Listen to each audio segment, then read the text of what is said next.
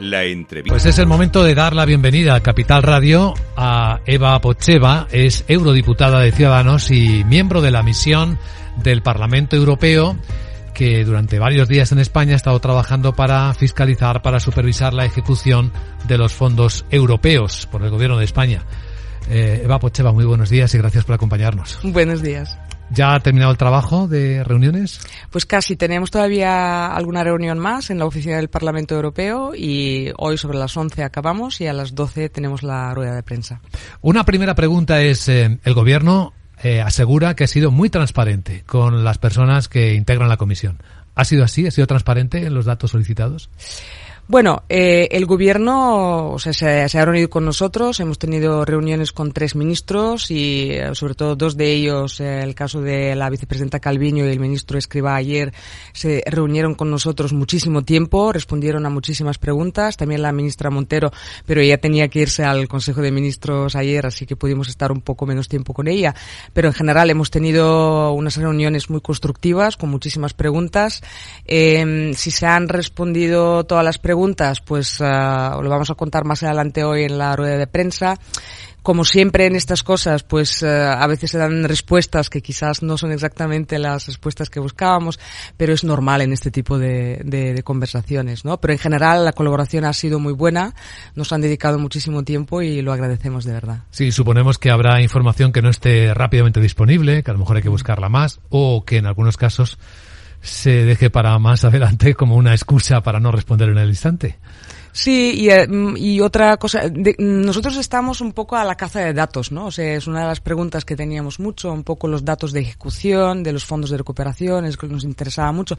Además, en un estado como España, eh, un estado compuesto, donde tenemos también las comunidades autónomas, también un nivel local, etcétera, nos interesaba saber, pues, cuáles son los pagos eh, ejecuta ejecutados al final. No solamente convocatorias resueltas o transferencias entre administraciones, pero los pagos reales que hayan eh, llegado a a la a la economía real y, uh, y en esto evidentemente es, es, una cuestión un poco más complicada en España y en todos los países en general. Sí, porque el modelo singular de España se lo llaman de cogestión, ¿no? Se cede una parte del trabajo a las comunidades autónomas y a los ayuntamientos incluso.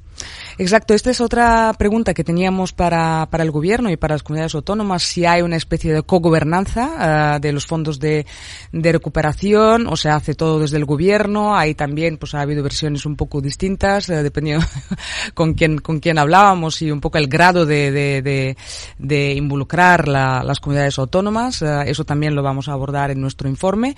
Eh, pero en general sí han sido estas las cuestiones que hemos abordado, pero también el tema de transparencia, porque hemos también hablado con muchos periodistas que nos habían comentado que hay cierta dificultad también acceder a datos, por ejemplo, sobre los beneficiarios fi, uh, finales de, de, estos fondos. Hemos hablado también de esta cuestión y de, y de muchas más. Veo que también se han encontrado con, con COE, que sí. viene siguiendo, monitorizando uh -huh. la llegada al tejido económico real de los fondos europeos, porque es verdad que España parece ir a la cabeza de Europa en ejecución de fondos, va muy rápido, pero luego por alguna razón no llegan al tejido. Yo no diría que España va tan rápido en la ejecución de fondos. Lo que pasa es que eh, España es el país que más eh, recibe del, de los fondos de recuperación. Algunos piensan que es Italia, pero no, realmente es España que recibe más fondos. Por lo tanto, y en toda la Unión Europea, todos los Estados miembros, hay unos ciertos retrasos que por otra parte podrían ser bastante normales, porque es bastante complejo la, ¿no? la ejecución de, los fondos de, recuperación.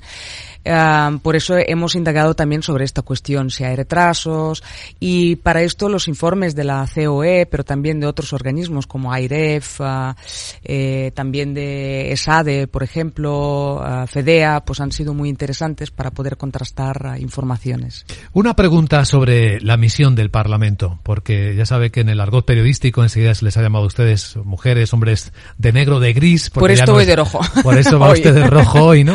No sé cómo interpretarlo, lo del color. A efectos prácticos, ¿cuál es la competencia, eh, el efecto del informe que ustedes concluyan dentro de unos días?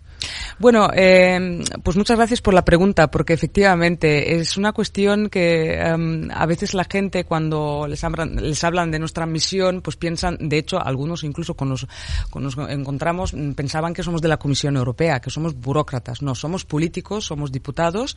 Uh, el Parlamento Europeo, junto al Consejo de Ministros de la Unión Europea, donde están los gobiernos de los Estados miembros, somos la autoridad presupuestaria. Nosotros hacemos el presupuesto de la Unión Europea y también tenemos el control presupuestario y es un control político presupuestario. ¿Qué quiere decir? Que el presupuesto de la Unión Europea se tiene que gastar según los objetivos que nosotros como legisladores, el Parlamento Europeo por ejemplo, hemos marcado. Y por eso hacemos esta misión para ver si los fondos europeos o los fondos que son de los contribuyentes de toda la Unión Europea se están gastando según los objetivos que nosotros cuando escribimos la legislación sobre los fondos de recuperación, marcamos.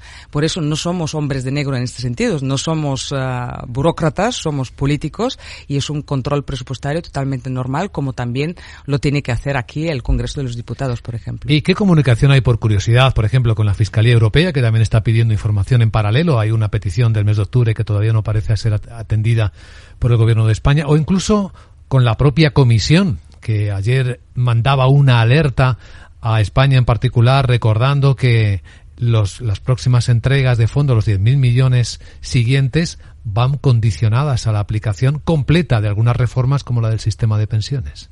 Así es, todas estas instituciones, tanto el Parlamento Europeo, como decía, que hace un control presupuestario político, pero después la Comisión Europea también hace su control sobre la ejecución de los fondos de recuperación, también la Fiscalía Europea tiene su, evidentemente, su interés um, en, en, defender los intereses financieros de la Unión Europea, pero también OLAF, que es la agencia, por ejemplo, antifraude de la Unión Europea. Hay varias agencias y actores en todo esto que básicamente se ocupan um, Em, para que estos fondos de recuperación, que, que, es una cantidad enorme histórica para la Unión Europea y sus Estados miembros, pues se ejecuten de una manera eficaz y sin cometer ningún tipo de fraude, etcétera. Por esto eh, es muy importante que todas las autoridades nacionales cooperen con todas estas instituciones para también dar credibilidad, ¿no? de la ejecución para la ejecución de, estos fondos de recuperación. Para la misión eh, eh, del Parlamento Europeo, España es la primera experiencia, significa que también se está aprendiendo un poco a hacer este trabajo que hasta ahora no había existido en Europa. Sí, es, es una experiencia, um, pero el control presupuestario que nosotros eh, hacemos desde el Parlamento Europeo lo, lo, vamos haciendo desde hace décadas, porque, porque tenemos los fondos de eh, estructurales, los fondos de cohesión, FEDER, um, ahí España pues también recibe muchos fondos y ahí el Parlamento Europeo también hace esta labor de control presupuestario y ha habido misiones a todos los Estados miembros en, en décadas y años uh, anteriores. Así que en este sentido no es nada, nada especial esta misión, es algo normal y se tendría que percibir como algo totalmente normal, que tenemos que ver evidentemente qué es lo que pasa con, con el dinero de los contribuyentes europeos. Lo es, y es muy importante el tiempo y los plazos, porque se confía una parte de la recuperación de la economía a que el dinero llegue a la sociedad. ¿En eso también observan si se podía haber ido más rápido o no tanto como, como se teme?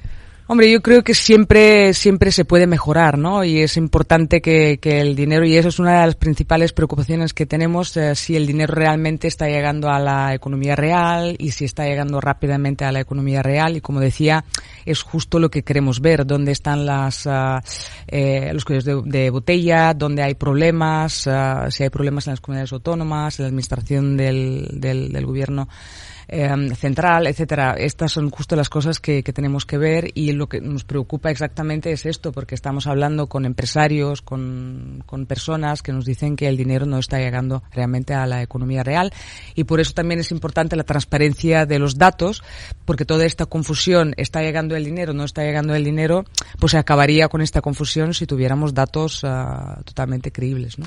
Pues esperando con muchísimo interés el informe que elabore la comisión de la que forma parte. Eva Pocheva, eurodiputada de Renew Europe, también recordamos. Muchísimas gracias por contarlo en Capital Radio. Muchas gracias.